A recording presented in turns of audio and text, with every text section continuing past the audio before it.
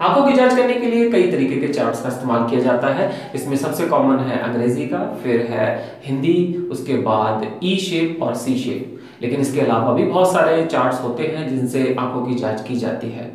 वो कौन सा चार्ट है जिससे हमें प्रैक्टिस करनी चाहिए, जिससे कि हम सारे चार्ट्स को आसानी से पढ़ लें?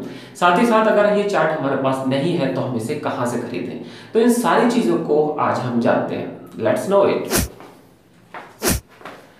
अगर आप किसी एक चार्ट को ऊपर से लेकर नीचे लास्ट लाइन तक आसानी से पढ़ लेते हैं तो आप किसी भी चार्ट को आसानी से पढ़ सकते हैं। जैसे कि हम सिक्स बाई सिक्स विजन कहते हैं। इन चार्ट को पढ़ने के लिए आपकी जो दूरी है, वो 20 फीट की होनी चाहिए। यानी जहाँ आप खड़े हैं और जहाँ पर ये चार्ट आपने लगाया है, वहाँ का डिस्टेंस 20 फीट का होना चाहिए।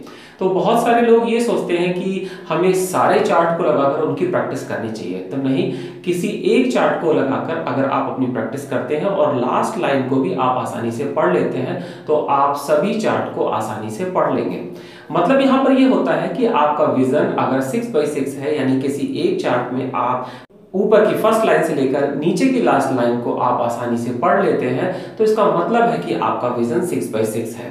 तो अगर आपका विजन सिक्स बाई सिक्स है तो चार्ट कोई सा भी हो, किसी भी शेप का हो, किसी भी डिज़ाइन का हो, उसके आप सारे लेटर्स आसानी से आप पढ़ सकते हैं, यानी हर चार्ट को आप आसानी से पढ़ सकते हैं। तो ये ज़रूरी नहीं है कि आपको सी शेप से भी तैयारी करनी चाहिए, या फिर ई से शेप से भी तैयारी करनी चाहिए, या फिर कोई और शेप भी आपको अरेंज करना चाहिए, जिससे कि आपको पता नहीं कौन सा मेडिकल में आ जाएगा तो आप सबकी तैयारी घर से कर जाए। तो ऐसा कभी ना सोचिए, अगर आपने किसी भी एक चार्ट से अपनी आँखों को चेक किया है, अगर आपकी आँखें सिक्स बाई सिक्स हैं तो आप कोई सा भी चार्ट हो, आप उसे आसानी से पढ़ सकते हैं। अब सवाल ये आता है कि अगर आप इस चार्ट को खरीदना चाहते हैं तो आप इसे कहाँ से लें? ये हर ऑनलाइन स्टोर पर आपको मिल जाएगा। अमेजोन और फ्लिपकार्ट पर भी ये उपलब्ध है। इसे आप 100 से 200 की रेंज में आसानी से खरीद सकते हैं। बट याद रखिए कि जब भी आप अपनी आँखों को चेक करेंगे तो आँखों से इस चार्ट की दूरी 20 फिट होनी चाहिए, तभी एक्यूरेसी मिलेगी।